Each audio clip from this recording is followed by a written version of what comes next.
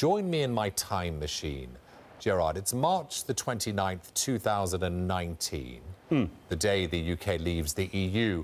What sort of Brexit are we looking at today on March the 29th, 2019? Well, if we fast forward to next year, two key things will stand out. First, it's in all likelihood clear that we would have done a deal with the EU, a deal that's favourable to the markets and to both sides in terms of both the EU and the UK economy.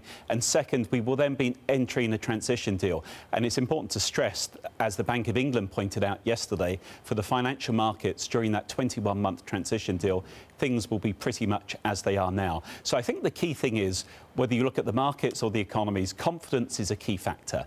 And there is, as you mentioned, some uncertainty. But I think by next year, people will be more confident because there will be greater clarity and indeed, hopefully, complete certainty. What gives you the confidence there'll be greater clarity when a year after the process has begun, we haven't even started talking about the trade deal yet? Well- it's taken us this long to get this far. Yeah, well, we are where we are. I'm sure many people might have approached it differently, but the reality is that we've gone through the first stage, namely addressing some core issues, in particular the funding arrangement in the future, where the UK will basically pay the EU a lot of money.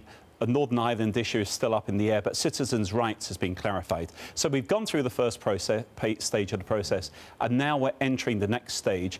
And all the noises are that, as we thought, basically, or as I thought and many others thought, um, it makes economic sense for both sides to agree. The politics is always thrown in there, but I think the backdrop is more favourable than many people expected. And if you sit here in the City of London, it's been very significant how the sentiment has shifted over the last 20 months. 20 months ago, there was genuine fear about passporting, uh, euro clearing issues. Now we've moved on to other technical terms, but the mood has certainly changed. And I think there's confidence in terms of the financial markets that London not only will remain the major financial centre of Europe, but will remain maybe one or two on the global list as well.